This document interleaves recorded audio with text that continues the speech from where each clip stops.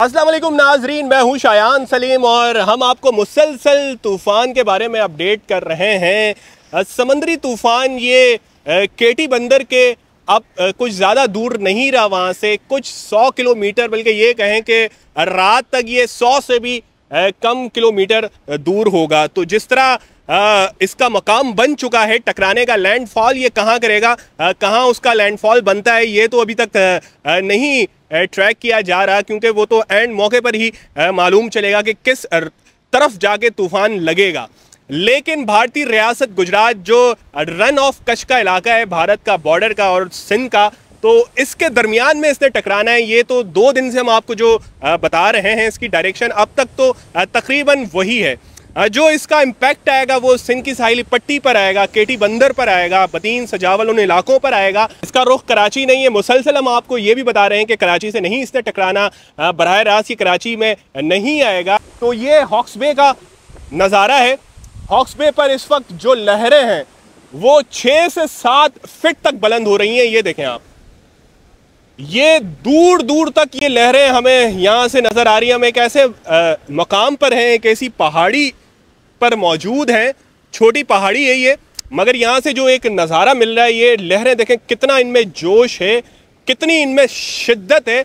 हवाओं की रफ्तार से ये जिस तरह पानी आके दीवार पर लग रहा है इसमें तोगयानी आई हुई है इसने मुतासर भी किया है हट्स को आ, कुछ हट्स की दीवारें टूट गई हैं उनको नुकसान पहुँचा है उनकी ये लहरें किस तरह बुलंद हो रही है? जैसे एक लहर लगती है दीवार पर, इसके साथ ही पीछे कुछ ज़्यादा टाइम नहीं लगता, दूसरी लहर आ जाती है। तो फिर वो जो पानी उतर रहा होता है लहर का, वो पीछे वाली लहर से टकराता है। तो ऐसा लगता है कि दो लहरें आपस में लड़ रही हों।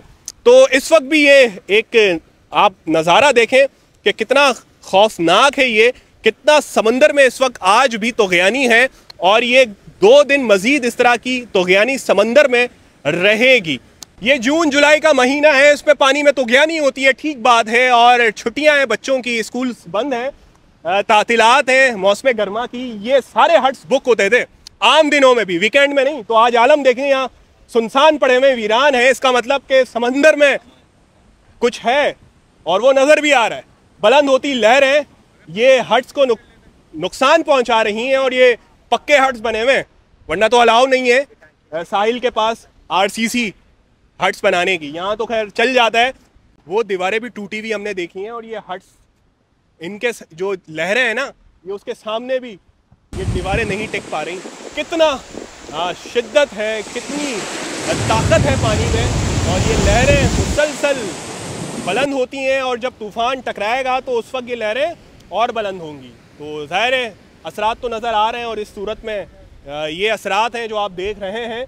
तो जब समंदर से टकराएगा तूफ़ान जिस जहाँ भी है वो लैंडफॉल करता है, जिस वक्त भी करता है कल से पहले शायद हो जाए, वो कहीं से टकरा जाए साहिली पट्टी से।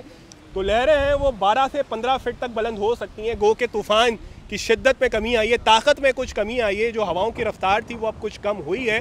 120 से 130 किलोमीटर फ़ी घंटे की रफ्तार इस वक्त है, उसके अतराफ़ में चल रही हैं। तो कैटेगरी टू में, पहले थ्री में था, फिर टू में आया और अभी मुमकिन है वो कैटेगरी वन में आ चुका है। क्योंकि ये कुछ चीज़ें आगे पीछे हो जाती हैं पैरामीटर्स आप देख के ही बता सकते हो। कुछ कंफर्म आप नहीं कह सकते हतमी नहीं कह सकते। तब्दीलियाँ आती रहती हैं तूफ़ान जहाँ भी जा रहा होता है कभी रुख कभी आ, उसकी ताकत में।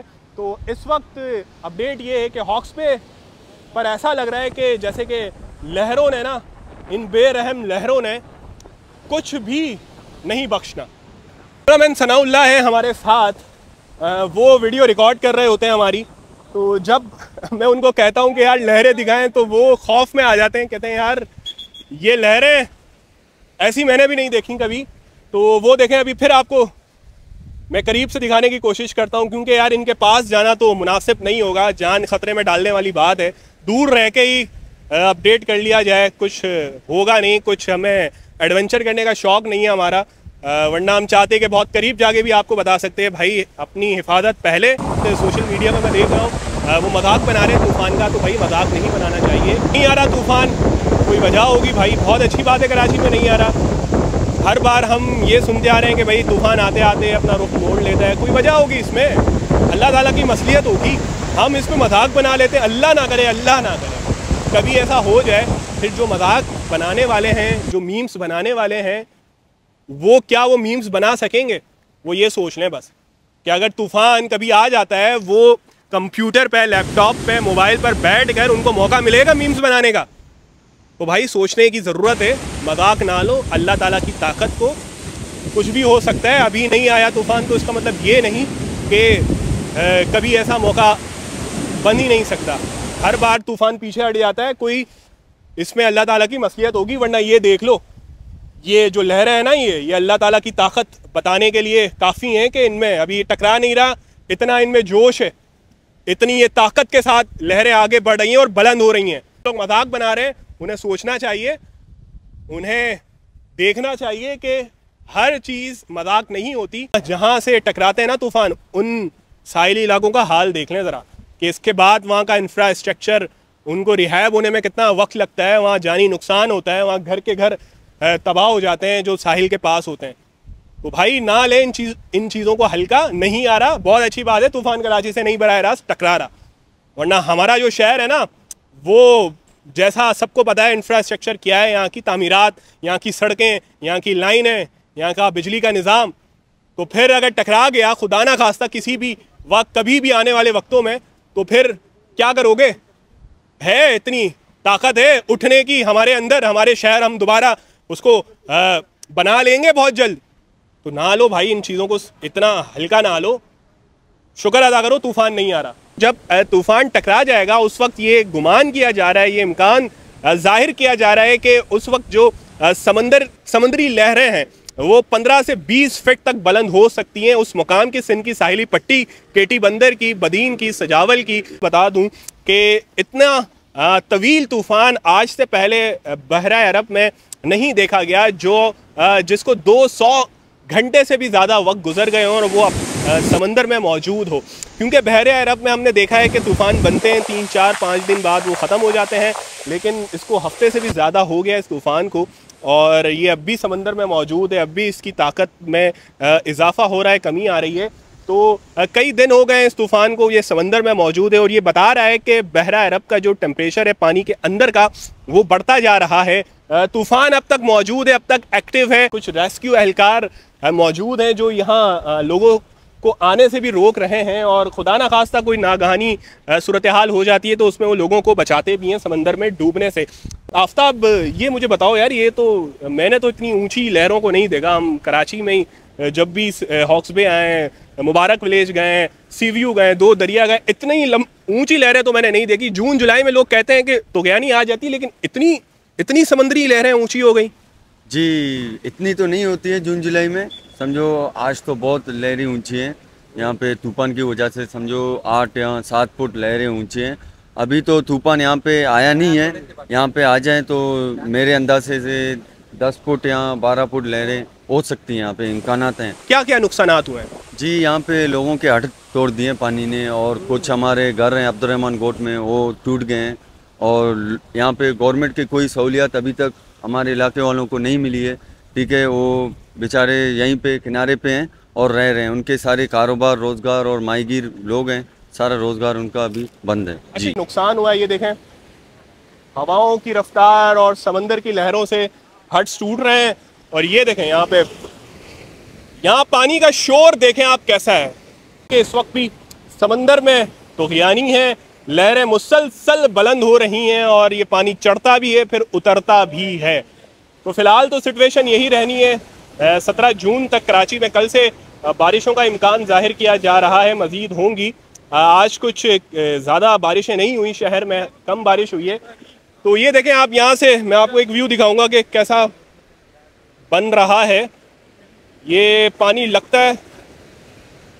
और ये देखें, कितनी लहरें बुलंद होती हैं। रेस्क्यू एहलकार है। अमजद भाई, कैसे हैं आप? लोग हमारे साथ हैं। आप लोग ने हमें सारा बताया कि क्या क्या क्या यहाँ पे नुकसान हो रहे हैं। जिस तरह आफ्ताब ने बताया कि हट्स वट्स टूट रहे हैं। यही यही नुकसान हो। रहे हैं टूट रहे हैं। अपनी ज़िंदगी में कभी नहीं देखा ऐसे जोश में। जुलाई में भी नहीं देखा इतना तेज़ पानी होता, कभी भी नहीं। क्योंकि इस दौरान पानी बहुत तेज़ है, बहुत। हद से बहुत ज़्यादा तेज़ है। तो यहाँ क्या आप देख रहे हैं? सूरत हाल क्या बन रही है यहाँ पे? सूरत हाल बहुत खतरनाक हो रहा है। यहाँ अर्थ टूट गए हैं घर घर टूट गए हैं। अब्दुल रहमान गोट में जो करीब घर हैं पानी टकरा गया उन लोगों के साथ बहुत टूट गए हैं। ज़िंदगी में नहीं देखा है। ये बहुत बड़ा तूफ़ान है। ये तकरीबन तूफ़ान को सात आठ दिन हो रहे नहीं ख़त्म नहीं हो रहे बहुत बड़ा तूफ़ान है। कराता है ये ये देखें तो एक अलग ही कैफियत बन जाती है। इस वक्त हॉक्स बे बंद है और लहरें मुसलसल बुलंद हो रही हैं ये। और ये देखें, ये पानी सोचें, जब लग रहा होगा इसने हट्स को यहाँ पे बड़ी तादाद में नुकसान पहुँचाया है इन्होंने। यानी कि ये तो जो बर्दाश्त कर पा रहा है, पानी की ताकत को वो डटे हुए हैं, वरना तो मैं जिस तरह ये आपको बता रहा हूँ, ये देखें, ये एक कुछ हट का हिस्सा गिर गया। इस तरह हमने मुख्तलिफ़ यहाँ पे देखे हैं हट्स को, जो बिल्कुल पानी में डैमेज हो गए। पानी इस वक्त है भाई अपने जोबन पर। समंदर बिफरा हुआ है। समंदर भाई बेकाबू हुआ हुआ है इस वक्त। और ये पानी है, ये जोश है, ये लहरें हैं और ये तूफ़ान है, जो कहीं ना कहीं इसने ख़त्म तो अब होना ही है। तो बस दुआ करते हैं कि कोई ज़्यादा नुकसान ना हो जब ये किटी बंदर की पट्टी से कहीं टकराएगा। तो हम आपको अपडेट कर रहे हैं तूफ़ान के बारे में। ये शुमाल मशरक़ की जानब इसका रुख रहा है और इससे जो मुतासर हो रहे हैं वो जनूब मशरक़ी सिंध की पट्टी है। वहाँ बारिशें होंगी। फिर मैं आपको बता दूँ, कराची थरपारकर रीजन है, उमरकोट है बदीन, सजावल, ये सारे इलाके जो साहिली पट्टी के, वहाँ भी बारिश होनी है और कराची में भी इसके असरात नज़र आएँगे। बारिश की सूरत में लहरें बुलंद दो दिन से आज कुछ ज़्यादा इनमें तेज़ी आ गई है लहरों में। तो कराची में भी हो सकती है तेज़ बारिश बारिश, लेकिन ज़्यादा इम्कान हल्की बारिश के ही है। तो इस वीडियो को ख़त्म करते हैं। इजाज़त दीजिए। अल्लाह हाफिज़।